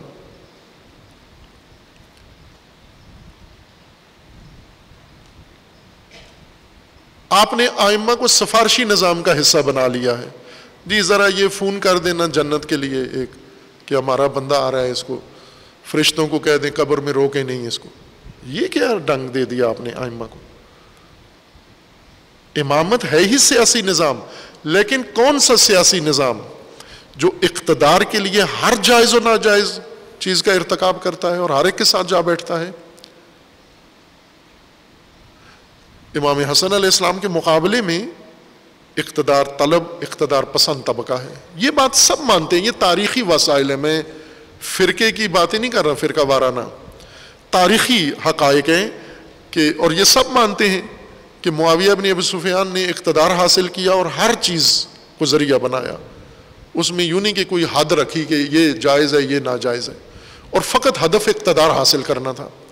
इमाम हसन इस्लाम के सामने सफ़ेद पेपर रख दिया कि आप इस पर दस्खत कर दें। जो आप मनवाना चाहते मैं मानने के लिए तैयार हूँ। चूँकि उसे पता था कि माननी तो मैंने कुछ भी नहीं है, सिर्फ़ यही साइन चाहिए मुझे। और फिर कोई बात नहीं मानी। जितनी भी दस्खत करवाए थे, एक शर्त भी कबूल नहीं की, ना इमाम हसन के साथ, ना किसी और के साथ। लेकिन इकतदार तक पहुँचने के लिए जो सीढ़ियाँ चढ़ी, वो आज के सियासतदानों के लिए उसूल है, जबता है। और मुझे ताज्जुब है कि इमाम हसन के पैरोकार इकतदार में आने के लिए मुआविया की सियासत को तरजीह देते हैं। इमाम हसन वाली सियासत करें आप। इमाम हसन की सियासत के नतीजे में आप बेशक इकतदार से बाहर रहेंगे, लेकिन दुरुस्त काम करेंगे। ये इकतदार से बाहर रहना, ये कहीं बेहतर है आपके लिए। उस निज़ाम सियासत में आकर इकतदार में आना। मुआविया ने सबसे फैसला कन काम क्या किया, जिससे इमाम हसन इस्लाम को बिल्कुल यकीन हो गया कि अब ये इकतदार बाकी नहीं रखा जा सकता। इसके ऊपर तारीखी गवाहियाँ हैं, इसके ऊपर ख़ुद इमाम हसन मुशतबा इस्लाम के अपने फरामीन हैं। रिवायात हैं ख़ुद कि मैंने क्यों मसालियत की और क्यों इकतदार छोड़ दिया मैंने। वो इकदाम ये है, यानी ये ख़ुद एक मुस्तकिल मौजू है, इसको तफसीला बास की ज़रूरत है। इमाम हसन इस्लाम का सियासी दौर, ये छः माह का सियासी दौर, ये बहुत अहम है, पढ़ना इसको। चूँकि इसी में सारा कुछ नक्शा बदला है, इसी में धारा मुड़ा है सारा कुछ। बहुत कुछ किया उन्होंने इकदाम किए पस पर्दा, क्या इकदाम थे? माशरती तौर पर क्या इकदाम थे? सियासी तौर पर क्या इकदाम किए मजहबी दीनी तौर पर क्या इकदाम किए सफारती तौर पर क्या इकदाम किए ये? सब इसी बाब का हिस्सा है। लेकिन जो आखिरी और फैसला कन कदम उठाया, वो ये था। किसकी मदद से मुआविया ने यह मैदान मारा इकतदार का? और किसकी मदद से इमाम हसन आसमाम को इकतदार से बाहर कर दिया। ये बहुत दिलचस्प बात है शियों के लिए। आज के इस इकतदार की जंग में, जो इस वक्त पाकिस्तान में अपनी उरूज को पहुँच गई है। मैं दो दिन पहले अर्ज़ किया था, रात को ये गुफ्तगु की थी कि ये सियासी नफ़रत की सियासत दहशत गर्दी में तब्दील हो जाएगी, सुबह वो काम पंजाब असम्बली में हो गया। बाकायदा तौर पर सियासी दहशत गर्दी शुरू हो गई है और अब खुद वो सियासतदान भी कह रहे हैं कि ये तो दहशत गर्दी होने जा रही है। और अब आप देखें आगे बढ़ेगी ये यहाँ रुकेगी नहीं। गली गली में और घर घर में अब लोग शिया सुन्नी झगड़ा छोड़ देंगे। अब सारे, पहले वो सिपाही साहबा और सिपाही मोहम्मद और ये नाम सुनते थे लोग अब सिपाही इमरान खान और सिपाही नून लीग और सिपाही फलां लड़ेंगे आपस में और शुरू हो गया है ये जंग। हर घर के अंदर शुरू हो गई है ये जंग, ये दहशत गर्दी इसमें जो अहम तबका है, पैरवानी इमामत का क्या रोल है? इस इकतदार के आज के झगड़े में। ये हालिया इस वक्त इन दिनों का झगड़ा है ये, पाकिस्तान के अंदर। क्या करना है आपने? जो इमाम हसन के ज़माने में किया था, वो करना है आज। अगर वो रोल आपने अदा किया, फिर तो यकीनन इकतदार इमाम हसन के और इमामत के रुकबा को मिलेगा। फैसलाकुन कदम, मुआविया ने क्या उठाया? फैसलाकुन कदम यह था कि एक तो अपने जासूस भेजे, तीन ग्रोह मुआविया ने इमाम हसन आसमाम के पैरोकारों में इमामत के निज़ाम से ताल्लुक़ रखने वालों के अंदर तीन ग्रोह बाकायदा रस्मी तौर पर रवाना किए। एक, मीडिया सेल उस ज़माने में, जासूस, जिनका काम इमाम हसन आसमाम के लश्कर में अफवाहें अराजीफ फैलाना था। ये बाकायदा नाम है, तारीख में इनके नाम हैं। ये बेजे शाम से आए और कुछ कूफियों को अपने साथ में लाया जान पहचान थी, इनकी दोस्तियाँ थी, या कुछ को बाकायदा पैसे के ज़रिए से ख़रीदा, मुलाजिम रखा कि हमने यहाँ पर एक मीडिया सेल चलाना है और वो प्रोपोगंडा करना है आपके ख़िलाफ़, इमाम हसन के ख़िलाफ़। अफवाहें फैलानी है। ऐसी अफवाहें जिससे इस लश्कर के अंदर इंतशार पैदा हो, मायूसी पैदा हो, नाउमीदी पैदा हो और बहुत कामयाबी के साथ ये काम किया। इमाम हसन इस्लाम ने बाकायदा एक नोटिफिकेशन जारी किया बसरा और कोफा के हाकिम के नाम। कोफा में तो खुद इमाम थे, कोफा में अपने कमांडर के नाम और बसरा के हाकिम के नाम के शामी जासूस जो आकर हमारे लश्कर में अफवाहें फैला रहे हैं, हमारी छोनियों में घुस गए हैं, इनको पकड़ के कत्ल कर दिया जाए। कूफी जासूस एक पकड़ा गया और कत्ल हो गया। बसरा वाला बाज़ तारीखों में है कि वो भी पकड़ के कत्ल कर दिया, लेकिन ऐसा कोई कौल काते नहीं है। बाज में है कि वो हाथ आया ही नहीं इनके छुप गया वो। और ये दो मेन छोनियाँ थी, इमाम हसन मुशतबा सलाम की। यहाँ पर इन्होंने ये काम किया। दूसरा ग्रोह इन्होंने एक और कूफियों का तश्कील दिया, सतून पंजुम। एक ये था जो अफवाहें फैलाए, झूठ फैलाए, प्रोपोगंडा करे। मुख्तलिफ़ किस्म का कि इमाम हसन सलाम ने मुआविया से पैसे वसूल कर लिए हैं। ये एक अफवाह ये फैलाई। इमाम हसन सलाम सुलो करने जा रहे हैं माविया के साथ सुलो करने जा रहे हैं। एक वफद शाम की तरफ़ से आया कि हम मुजाकरात करने आए हैं। इमाम सलाम ने उनको वक्त दिया।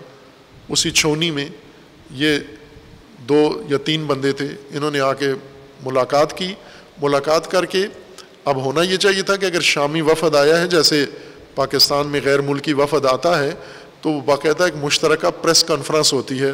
एक बयानिया मुश्तर जारी होता है कि हमने इस गैर मुल्की वफद के साथ ये माहा किया है, ये बातचीत हुई है, ये हमने ऐलान करना है। लेकिन तहकीम के वाक़ की तरह इस वफद ने अंदर क्या बातचीत की, ये नहीं बताई।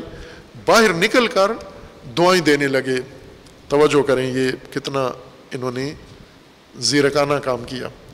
बाहर निकल कर इमाम हसन इस्लाम के उस खेमे से मुजाकराती, खलीफा के खेमे से हाकिम वक्त के खेमे से निकल कर बाहर दफ्तर से तो बुलंद बुलंद इमाम हसन इस्लाम के साथियों को सुनाने के लिए बुलंद बुलंद आवाज़ से दुआएँ देना शुरू कर दी।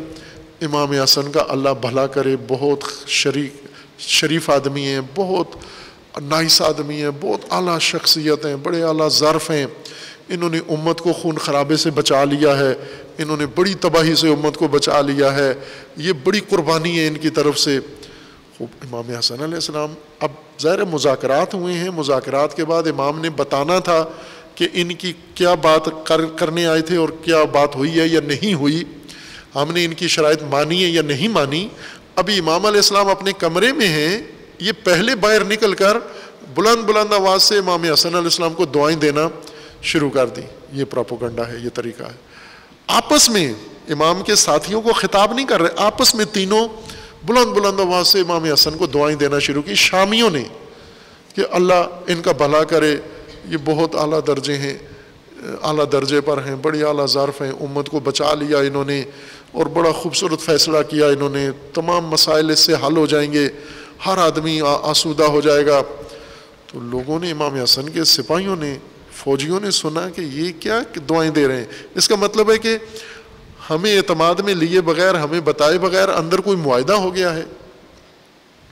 ये दुआएँ देते हुए इमाम के लश्कर से बाहर चले गए। बस अपना काम कर दिया ये। अब यहाँ जिन लोगों ने ये दुआएँ सुनी, शामियों की जबानी तो इन्हें चाहिए था ये फ़ौरन इमाम के खेमे में आते और पूछते आकर कि ये बाहर निकल कर इस तरह का तासुर दे रहे हैं कि गोया कोई जंगबंदी हो गई है या कोई सुलो हो गई है। या आप इकतदार छोड़ रहे हैं, ये सुनने के बजाय, चूँकि उन्हें पता था, माहिर थे, मीडिया स्पेशलिस्ट थे वो लोग, और मुआविया ने ये पूरे ममलिकत से जमा किए थे, उन सलाहियतों का पता था, कौन किस चीज़ का माहिर है। कोई मिस्र से बुलाया, कोई हिजाज से बुलाया, कोई यमन से बुलाया, कोई कहाँ से बुलाया, बुलाकर वो माहिराना एक टीम तश्कील दी, जिन्होंने ये सारा माहौल बनाया। चूँकि उन्हें पता था कि ये जज्बाती लोग हैं, कोफ़ी हैं, इनमें इतना शूर नहीं है कि ये माम हसन से जाके तस्दीक करें, पूछेंगे जाकर, इन्होंने सुनते ही फ़ौर रद्द अमल दिखाने और ऐसा ही हुआ। इन्होंने फ़ौर इमाम हसन आसमाम को बुरा भला कहना शुरू कर दिया। तवज्जो करें, शामियों ने दुआएँ दी, कूफियों ने नौजुबिल्ला गालियाँ देना शुरू कर दी। वो लिखी हुई है तारीख के अंदर। जो अपने थे, अपनी फौज थी, अपने साथी थे।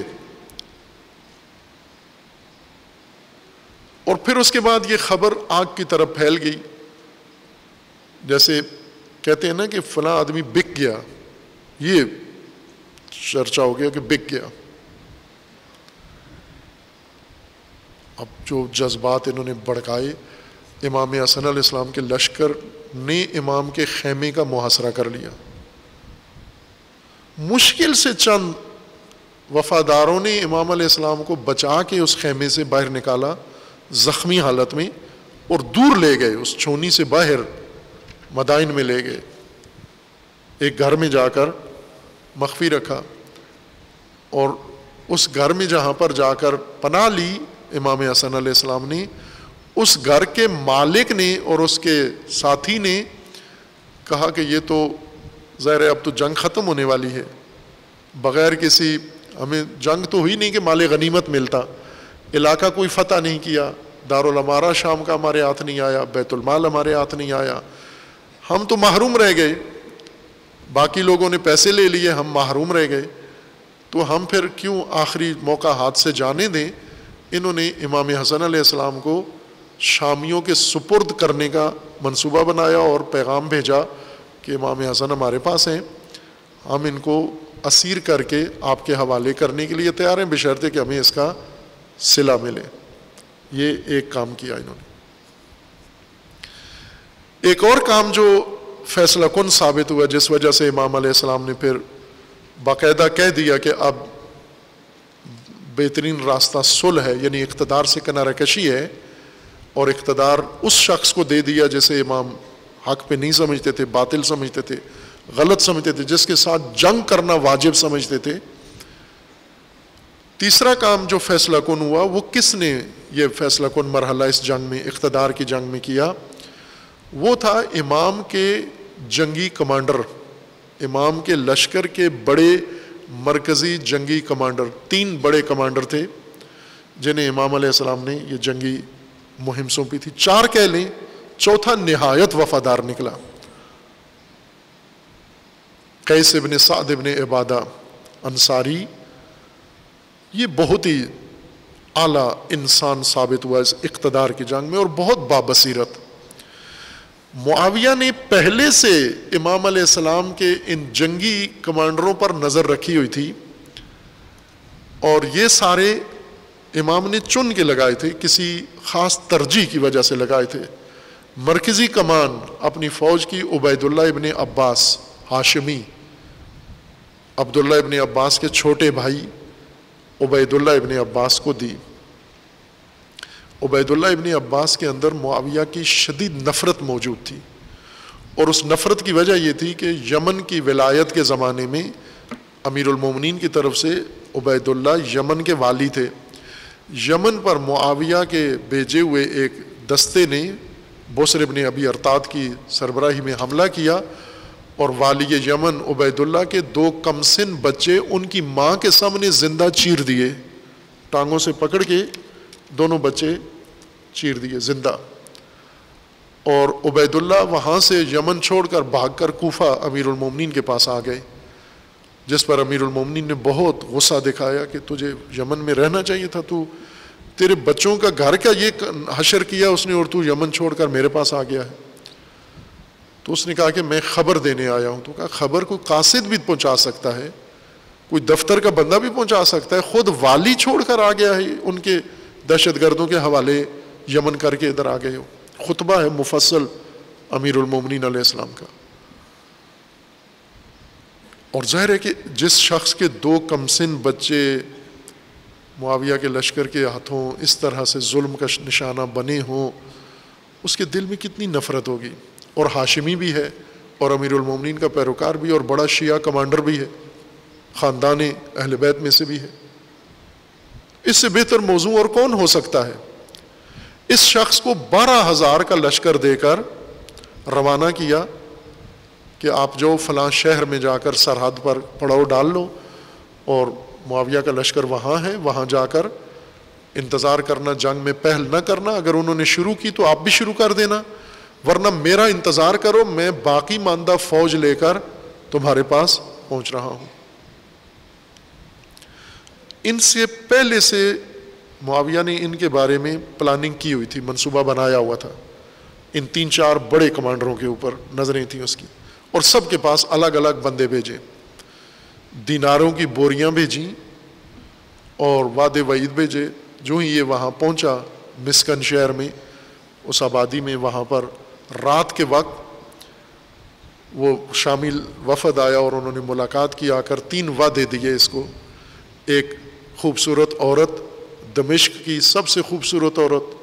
उस वक्त लुबनान दमिश्क में था, यानी सबसे खूबसूरत दमिश्की या लुबनानी औरत। ये तो तेरे लिए तैयार बैठी हुई है वह खेमे में। और दूसरा, इतने लाख दिर, दीनार जिनमें से कुछ वहीं नकद दे दिए, कुछ कहा कि वहाँ जब पहुँचोगे तो मिलेंगे। और तीसरा वादा ये दिया कि मुआविया ने कहा कि अगर मेरा साथ दो और मैं इमाम हसन को इकतदार से निकाल दूँ तो मेरी फ़ौज के कमांडर इन चीफ तुम होगे। ये शख्स रात के वक्त बारह हज़ार लश्कर में से आठ हज़ार लश्कर लेकर मुआविया से जा मिला। पीछे चार हज़ार बच गए, जो कैस इबन साद इबन इबादा जो अमीरमिन के दूसरे कमांडर थे उबैदुल्ला के बाद उनकी कमान में बाकी रह गए और उस वक्त कैस ने पैगाम भेजा अमीर इमाम हसन इस्लाम को कि ये माजरा बॉर्डर पे रूनमा हो गया है। और इस खबर से पहले कि कैस का पैगाम इमाम को मिले, मुआविया के एलचियों ने पहले कूफियों में ये खबर फैला दी थी कि वो जो लश्कर इमाम ने भेजा था, वो सारा शामियों से मिल गया है। खूब, जब इमाम सलाम, अब ये एक दो दिनों में ये वाक़ात रुनमा हुए। इतना बड़ा लश्कर इमामत का लश्कर ये मुआविया से जा मिला, कमांडर समेत। ये एक नहीं, दो कमांडर और भी मिले। उनके पास छोटे दस्ते थे, वो दूसरे महाजों पर मिल गए। ये बड़े महाज का था। दूसरा, वो प्रापोगंडा मीडिया जिन्होंने वो दुआएँ, दुआओं के ज़रिए से प्रापोगंडा किया। दुआएँ एक हरबा था, मैं एक नमूना बता रहा हूँ, वरना उन्होंने बीसियों काम किए। किस किस से मिल के क्या क्या तलकीन करवाई किससे? मिल कर क्या नशर करवाया, झूठ, वो तारीख में मौजूद है। और तीसरी चीज़ जो फैलाई हौसला शिकनी के लिए, ये कि एक खरीद के, खरीद लिए मीडिया के ज़रिए बुलाया और तशवीश फैलाने के लिए। ये काम इन लोगों ने किया और मुकम्मल तौर पर इमाम का लश्कर मुंतशिर हो गया। इतना मुंतशिर हुआ कि उठकर खुद अपने इमाम पर हमला कर दिया। इनसे बचने के लिए, आप तवज्जो करें, शामियों से बचने के लिए इमाम ने मदाइन में पनाह नहीं ली, कूफियों से, अपने लश्कर से बचने के लिए, महफूज रहने के लिए जाकर पनाह ली। और जिस घर में पनाह ली, उसने प्लान बनाया कि हम बाँध के रस्सियों में शामियों के हवाले करके आखिरी सौदा हम कर लेते हैं। ये किताब एहतजाज में इमाम हसन इस्लाम की अपनी हदीस मौजूद है वहाँ पर। मुंतहल आमाल में शेख अब्बास कुमी ने इस रिवायत को सराहत के साथ ज़िक्र किया, बाकी मुहदसिन ने इसको ज़िक्र किया है इस रिवायत को।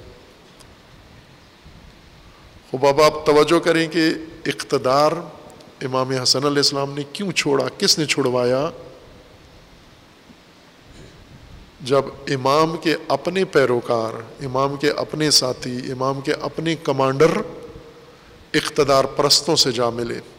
क्यों मिले? सवाल ये है कि ये जो चाहते थे, ये इमाम हसन से क्यों इनको तो नहीं थी, उम्मीद नहीं थी? उबैदुल्ला इबन अब्बास, बारह हज़ार लश्कर का कमांड, कमांडर तो है ये अभी अभी बारह हज़ार इसकी कमान में है। फिर क्यों ये इकतदार परस्तों के वादे पर आ गया? उन्होंने जो वादा दिया, सीटी बजाई है उसकी तरफ़ क्यों चला गया?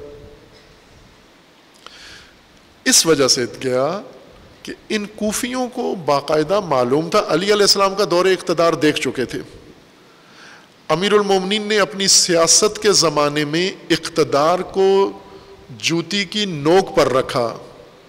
इनके सामने कहा कि अकदार असल हैं, अकदार मुहिम हैं। मैं अकदार का इमाम हूँ, इकतदार का इमाम नहीं हूँ। मैं अकदार की खातिर इकतदार कुर्बान कर सकता हूँ। मैं, मैंने किया है। और खूफियों ने नज़दीक से देखा और फिर इमाम हसन मुशतबा सलाम को खूफियों ने नज़दीक से देखा कि ये इमाम हसन मुशतबा अगर इकतदार में रहें, इनके साथ रहकर हमें क्या मिलेगा? इमामत की सियासत करके हमें क्या मिलेगा? और मलूकियत के साथ मिलकर हमें क्या मिलेगा? ये नजरियाती तौर पर इमामत के कायल थे। ये नजरियाती तौर पर इमाम हसन की इमामत के कायल थे। लेकिन इमाम हसन की इमामत के सियासत में इन्हें ये सब कुछ इकतदार के मज़े, इकतदार के लुत्फ नज़र नहीं आ रहे थे। जो अमीरमिन के ज़माने में ऐसा ही हुआ अमीरमिन के ज़माने में दो शख्सियात अमीरमिन के पास आई। खिलाफत के फ़ौर बाद जिन लोगों ने अमीरमिन के लिए बैत की कंपेन चलाई हुई थी, लोगों को लाते थे पकड़ पकड़ के कि आओ बैत करो अमीरमिन पर यह सबसे बेहतर हाकिम है। यही जब बैत का अमल मुकम्मल हो गया अमीरमिन बैतुलमाल में गए, इन्होंने वक्त मांगा रात के वक्त। अमीरमिन ने इन्हें वक्त दिया, जो ही जाके बैठे अमीरमिन ने चराग बैतुलमाल का बुझा दिया। और फरमाया, घर से चराग लेकर आओ। तो उन्होंने पूछा भी कि क्यों बुझा दिया? तो फरमाया कि अभी ज़ाती बात हो नहीं है आपकी मेरे साथ। बैतुलमाल हुकूमत का है बैतुलमाल का काम ख़त्म हो गया है तो बैतुलमाल का चराग भी नहीं जलेगा, लाइट भी नहीं जलेगी चूँकि ज़ाती काम कर रहे हैं हम इसमें। ये इमामत का निज़ाम है। इमामत के निज़ाम में आप बैतुलमाल की लाइट के नीचे बैठकर ज़ाती काम नहीं कर सकते। ये इमाम हसन की हुकूमत है, इमाम अली की हुकूमत है। ये क्यों कोफ़ी इतने मायूस थे इमामत के निज़ाम से? इन्हीं वजूहत से। तो उन्होंने कहा कि हम अमीरमिन ने कहा कि बताइए क्यों आए हो? तो उन्होंने कहा कुछ कहने आए थे, अब ज़रूरत नहीं है, जवाब मिल गया है। आए क्यों थे? कोफा और बसरा की हुकूमत लेने के लिए कि एक को कोफा का हाकिम बना दें, दूसरे को बसरा का हाकिम बना दें। तो जो हाकिम, जो वाली चिराग एक मिनट हमारे लिए बैतुलमाल का नहीं जलाने के लिए हाजिर, वो हमें ये सब कुछ कैसे देगा? लिहाजा यही चले गए वहाँ से जाकर, जंग जमल की तैयारियाँ शुरू कर दी। अजीज़ान, ये इकतदार के निज़ाम में इमामत की सियासत, इमामत का जंग का तरीका, इकतदार या अकदार? और इमाम हुसैन आसमाम ने इस मकतब इमामत में फिर ओज कर दी, मेराज कर दी इकतदार से टकरा कर अकदार बचाने के लिए न सिर्फ़ इकतदार कुर्बान कर दिया अमीरमिन ने इकतदार कुर्बान किया, इमाम हसन ने इकतदार कुर्बान किया, इमाम हुसैन ने सब कुछ अकदार पर कुर्बान कर दिया। एक काम जो प्रोपोगंडा मुआविया के लश्कर ने इमाम हसन आसमाम के साथ किया, जो आज तक लोगों की गुमराही का सबब बना हुआ है।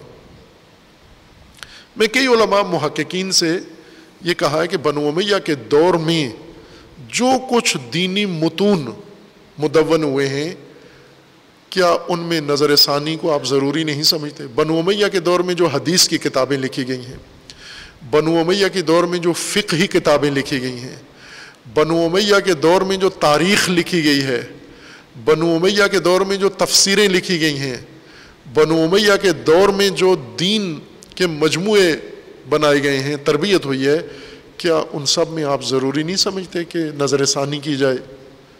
कि जब बनु उमैया हर चीज़ को जायज़ नाजायज़ को इस्तेमाल करते थे इकतदार के लिए, दीन को खसूस और वही दीन आप तक आ पहुँचा है तो क्या आप ज़रूरी नहीं समझते कि उसमें थोड़ा सा नज़र षानी कर लें कि ये मुमकिन है बनु उमैया ने इसको अपने इकतदार के लिए बनवाया हो? ज़रूरत समझते हैं, लेकिन जुरत नहीं करते। एक काम जो बनु उमैया ने करवाया, वो ये था, यानी इनका ये मीडिया सेल, बहुत कामयाब मीडिया सेल था। इन्होंने जब एक तरफ़ से ये प्रोपोगंडा करवाया कि इमाम हसन सलाम जंग नहीं करने के लिए तैयार हैं, बल्कि सुलो पर सोच रहे हैं और सुलो के लिए भी कोई बड़ा मुआवजा लेकर ये करने जा रहे हैं।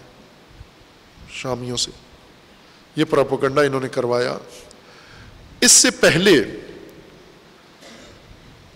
और इस खसूस इस दौरान इन छः माह के अंदर इमाम हसन के बारे में जो बहुत ज़्यादा जहर उगला शामियों ने, जो आज की नस्ल को भी, आज के पाकिस्तानी मुफ्तियों को भी गुमराह किए हुए है उस मीडिया सेल ने जो काम किया, वो आज के मीडिया में भी आपको नज़र आ रहा है।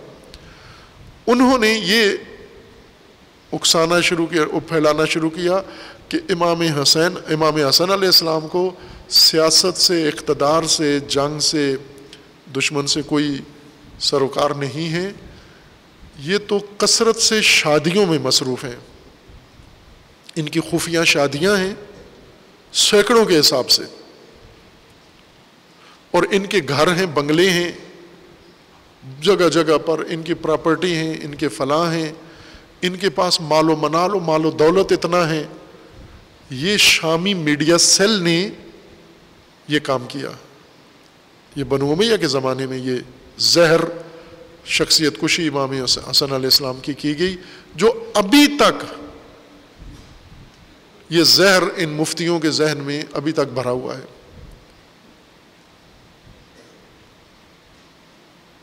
ये तीन अहम काम उन्होंने किए। और फैसला कौन इनमें से कौन सा साबित हो? मीडिया सेल ने सिर्फ़ लोगों को बदबीन किया, बदगुमान किया। लेकिन जिस चीज़ ने इमाम हसन इस्लाम के इकतदार की बुनियाद हिलाई, कमज़ोर किया, वो इमाम के अपने मुकर करदा कमांडरों की खयानत थी। ये इकतदार परस्तों से जा मिले, उनके कैंप में जाकर शामिल हो गए। उधर कॉल दे दी सब आठ हज़ार मिलकर मुआविया के कैंप में चले जाओ सब अब ये खबर मिलनी थी फिर इमाम हसन इमाम हसन इस्लाम ने। बाकी सारी प्लानिंग रोक दी, जंग नहीं हो सकती इन लोगों के ज़रिए। शेख मुफीद रहमत ने अपनी किताब इरशाद में इसको बहुत खूबसूरत तजिए के साथ और तहलील के साथ ज़िक्र फरमाया है। बहुत अला अंदाज से। कि इमाम हसन आसमाम का लश्कर किस कुमाश का था, किस नोयत का था, किस तर्ज का था और क्यों ये सब कुछ हुआ, ये वो तारीख़ है जो आज पाकिस्तान में इकतदार की जंग में इमामत के दावेदार और इमामत के पैरोकार और इमामत के साथ ताल्लुक़ रखने वाले लश्कर ने क्या किरदार अदा करना है? ये देख लें कि इमाम हसन आसमाम के साथ इकतदार परस्तों का साथ देकर कितनी बड़ी ख़यानत इन लोगों ने की। और इमामत जब इनकी ख़यानत से इकतदार के मैदान से इमामत को बाहर निकाला गया, फिर लौट कर दोबारा नहीं आ सकी इकतदार में।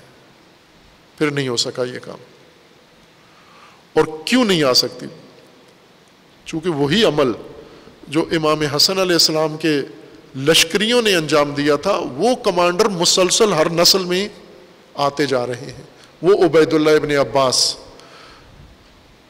जो परचम इमाम हसन का उठा के और अपनी टीम समेत, अपनी पार्टी समेत इकतदार परस्तों से जा मिलता है, ये दर हकीकत इमामत की कमर तोड़ देता है। ये इमामत की पुश्त पे खंजर मारते हैं। इनकी वजह से इमामत की तोानाई इस्तेमाल हो जाती है इकतदार परस्तों के हाथ में। मुआविया ने शामियों के ज़रिए इकतदार हासिल नहीं किया, कूफियों के ज़रिए इकतदार हासिल किया है। एक भी शामी उसमें शामिल नहीं है। सारा लश्कर उसका कूफी है। यानी इमाम हसन के लश्कर से इमाम हसन से इकतदार ले लिया। और ये बात इमाम हसन आसमाम ने ख़ुद भी बयान फरमा दी कि मैंने इस वजह से ये फ़ैसला किया कि मेरे सामने दो नक्शे थे। एक दुश्मन का था, एक इनका था, कूफियों का।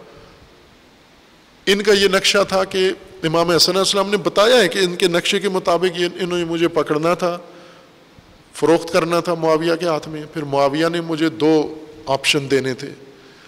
या मुझे कत्ल कर देता, शहीद कर देता, या फिर बख्शिश, रहम खाकर मुझे छोड़ देता कि मैं आपको मुआफ़ करता हूँ। और मुआविया की मुआफ़ी लेकर ज़िंदा रहना मौत से बदतर था।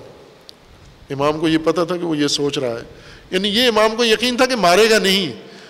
वो इस तरह से इनके ज़रिए इन्हें पैसा दे के मुझे गिरफ़्तार कर लेगा। फिर उसके बाद कहेगा कि मैंने नवासा रसूल हैं, शरीफ आदमी है, मैंने छोड़ दिया इनको। मेरे रहम करम पर अब आप रहें, बाकी रहें, ज़िंदा रहें। ये ज़िंदगी इमाम को पसंद नहीं थी। इसलिए इमाम आसमाम ने फरमाया कि अब इकतदार में नहीं रहा जा सकता। इकतदार बाकी रखने का कोई इम्कान बाकी नहीं है, लेकिन अकदार बचाई जा सकती हैं। इकतदार और अकदार के कैंप जब हों, शिया कहाँ हो? शिया किस कैंप में हो? अकदार के कैंप में, इमामत के कैंप में। इस वक्त यूँ नहीं कि दो शैतानी ग्रोह आपस में जब बनु अब्बास और बनु उमैया आपस में जब आमने सामने हो तो शिया किस कैंप में हो? बनु अब्बास या बनु उमैया में? ना ना बनु अब्बास में, ना बनु उमैया में। इमामत के कैंप में, इमाम सादिक के कैंप में, इमाम बाकर के कैंप में। इमामत के कैंप में क्यों नहीं आते हो वापस? अमेरिका और रूस में जब आपस में दो कैंप बने, शिया किस कैंप में हो? इमामत के कैंप में। ला शर्किया वाला गरबिया। न इस कैंप में, न उस कैंप में, चूँकि दोनों शैतानों के कैंप हैं। पाकिस्तान में इकतदार परस्ती की जंग अगर दो हिस्सों में बट जाए, एक ग्रुप इकतदार छीनने वाला, एक इकतदार छोड़ने वाला, शिया किस कैंप में हो? शिया इन दोनों शैतानी लश्करों में ना हो। शिया इमामत के कैंप में हो। फिर तो इमाम हसन सलाम का पैरोकार है। लेकिन अगर इन दोनों में से किसी एक कैंप में चला गया, फिर इमाम हसन इस्लाम को इस्तेमाल कर रहा है। इमाम हुसैन को इस्तेमाल कर रहा है, शिया टूल बना दिया है।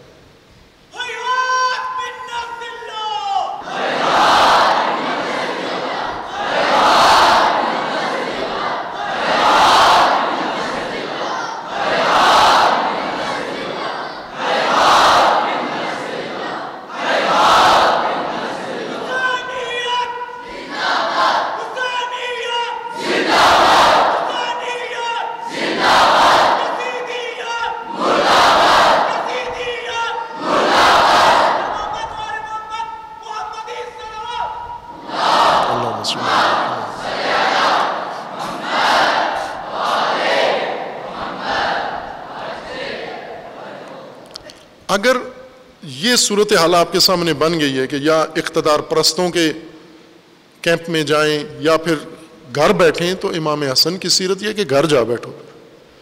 जब आपको ये सियासत करनी है, ये मैदान आपके लिए बच गया है तो फिर खामोशी से घर जा बैठो आप। फिर जायज़ नहीं है तुम्हारे लिए इस कैंप का हिस्सा बनना।